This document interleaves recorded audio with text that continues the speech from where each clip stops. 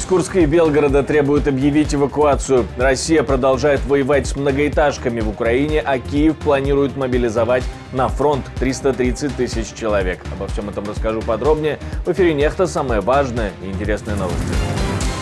Путин угрожает Финляндии и говорит, что готов к ядерной войне. А наша триада, ядерная триада, она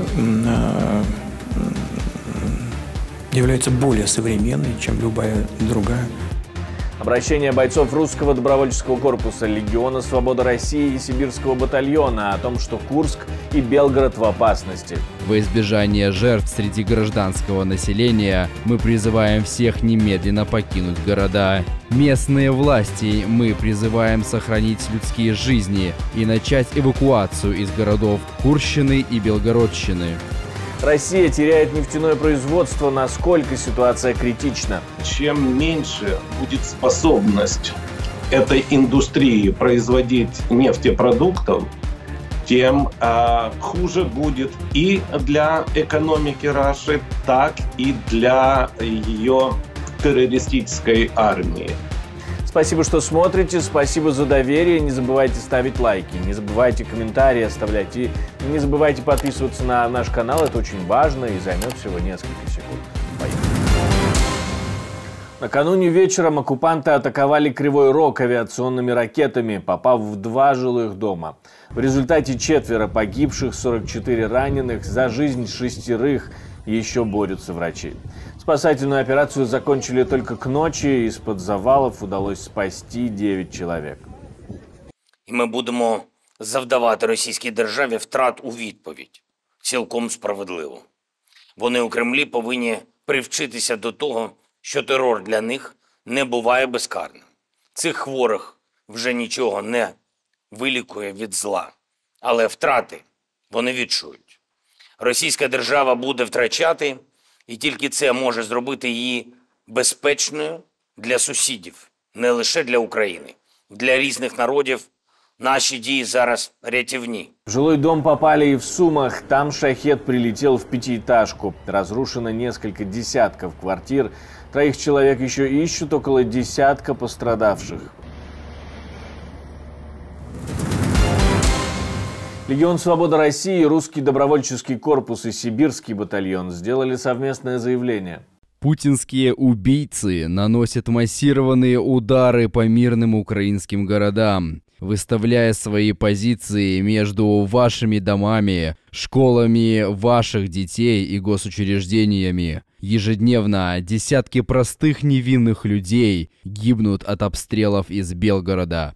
В связи с этим мы вынуждены нанести огневое поражение по военным позициям, которые размещены в городах Белгород и Курск. Во избежание жертв среди гражданского населения мы призываем всех немедленно покинуть города. Местные власти мы призываем сохранить людские жизни и начать эвакуацию из городов Курщины и Белгородщины. Я напомню, бойцы заняли населенный пункт Теткино, как они сами пишут в социальных сетях, это в Курской области, прорвав границу с Россией, хоть официальные российские медиа этого и не признают. Перед нами стоят и военные задачи, и политические, и пропагандистские, поэтому все мы их сейчас и преследуем. Я думаю, что бойцы русского добровольческого корпуса сделают все для того, чтобы в приграничных с Украиной районах э, никаких выборов не было. Вот, скажем так. Возможно, даже это можно назвать одной из целей наших э, операций текущих. Я уж прям совсем деталей рассказывать не буду, но, безусловно, э, повлиять, да, или как минимум показать людям, что это не выборы, а фарс, это одна из политических задач нашей э, текущей операции. Нефтеперерабатывающий завод в Новошахтинске остановлен после попадания беспилотника. Ну, конечно же, его сбили, но он все равно повредил производство. В результате работы дежурных систем РЭП БПЛА упали на территорию Новошахтинского завода нефтепродуктов. Погибших и раненых нет. Технологические объекты предприятия остановлены. Сразу три нефтеперерабатывающих завода в России атакованы дронами. Издание «Украинская правда» пишет, что эти атаки – это продолжение ряда спецопераций по вражеским НПЗ, которые организовала Служба безопасности Украины. Мы системно реализуем детально просчитанную стратегию по уменьшению экономического потенциала РФ. Наша задача – лишить врага ресурсов и уменьшить поток нефтяных денег и топлива, которые агрессор направляет непосредственно на войну, на убийство украинских граждан. По данным издания, СБУ совместно с другими украинскими спецслужбами также атаковала дронами авиабазу ВКС РФ в Бутурлиновке и военный аэродром в Воронеже. Нефтепродукты, вы знаете, тоже попали под санкции Евросоюза. Продать их все тяжелее. И поэтому они ориентированы скорее на внутренний спрос России. То есть используются для экономики, Э, военно-промышленного комплекса и, конечно, для российской армии. Так? Вот. И поэтому чем меньше будет способность этой индустрии производить нефтепродуктов, тем э, хуже будет и для экономики Раши, так и для ее террористической армии. И э, если бы был один удар, два удара, а мы видим уже систему. И можно говорить о том, что это уже не уколы комара, да, не демонстрация силы. Это уже и есть сила, которая способна пока только на проценты уменьшить производство нефтепродуктов. Российская Минобороны заявляет об уничтожении всех беспилотников, запущенных по России ночью и утром. Всего насчитали 58, но, как видим, какие-то все-таки попали в цели.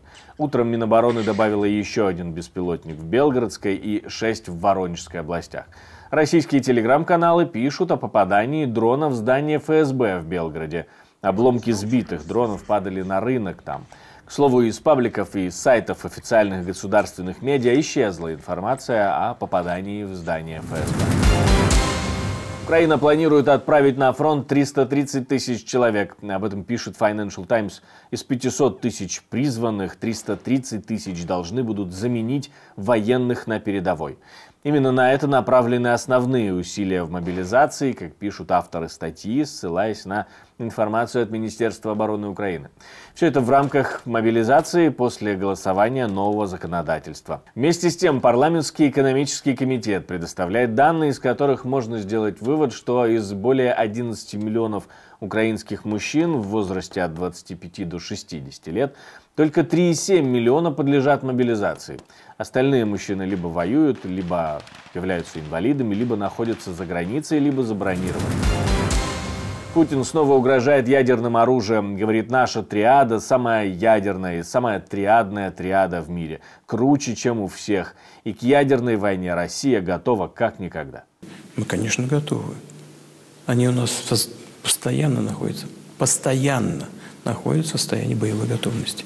Это первое. А второе, и это тоже вообще признанная вещь, наша триада, ядерная триада, она а,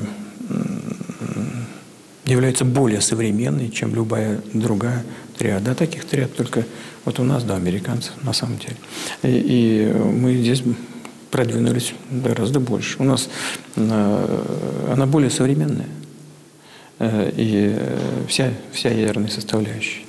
Если быть точным, то ядерная триада есть еще и у Великобритании. Что это такое? Это средство ядерного поражения на подводных ракетоносителях, межконтинентальные баллистические ракеты и стратегическая авиация. Если у страны есть все эти три компонента, можно сказать, что она обладает ядерной триадой. Еще Путин в интервью пропагандисту Киселеву говорит о том, какая страна может стать следующей жертвой агрессии. У нас э, достаточно добрые отношения, стабильные отношения были с этими странами. И мне думается, что они э, больше выигрывали от того, что они придерживаются нейтралитета, потому что это дает определенные преимущества, хотя бы э, как площадка, для, переговорная площадка для того, чтобы э, снижать напряженность в той же Европе. С Финляндией у нас вообще были идеальные отношения. Просто идеальные. У нас не было ни одной претензии друг к другу, тем более территориально, я уж не говорю в других областях.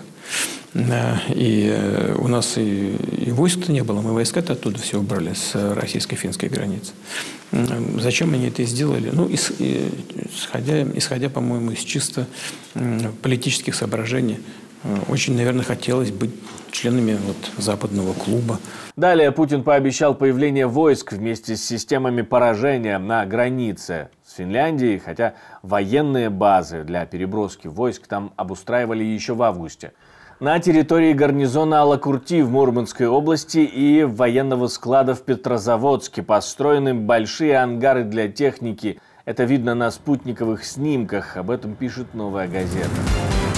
Спасибо, что смотрите, спасибо за доверие, жду ваших комментариев, лайков и репостов, это важно, ведь так нас с вами будет становиться больше, потому что YouTube тогда будет показывать наши видео большему количеству людей. Ну а у меня на этом все, до встречи и хороших вам новостей.